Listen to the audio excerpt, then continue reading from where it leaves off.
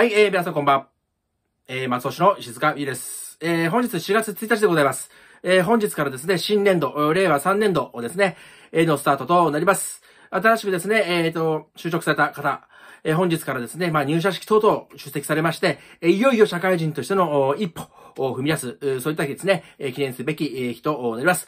またですね、まあ、4月1日はですね、あの、エイプリルフールでもありますので、え、こちらですね、SNS などを中心にですね、まあ、いろんなですね、まエイプリル、エイプリルフールならではのですね、えっ、ー、と、ツイツイッターだとかですね、えー、話題がですね、飛び交って、え、おりました。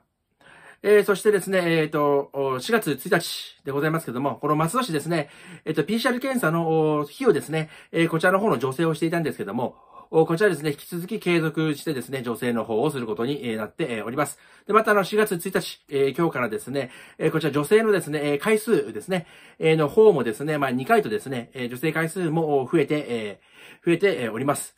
なのでですね、こちら PCR 検査ですね、えー、えっ、ー、と、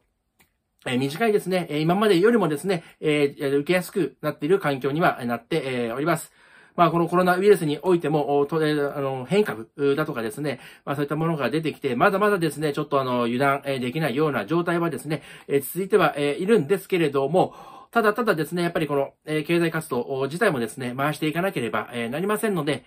えこちらですね、えまあ、自粛だとかですね、営業時間短縮ですね、まあ、そういったところを、で、そういった政策もありますけども、やはりですね、えまあ、一番は一人一人がですね、まあ、注意をすること、まあ、そういったところが大切になってくるのかなと。思って、おります。一人一人がですね、え自分の体調に気をつけて、えそしてですね、こまめに手を洗って、えうがいをする、そしてですね、まあ、密にはならないようにですね、部屋を換気をすると、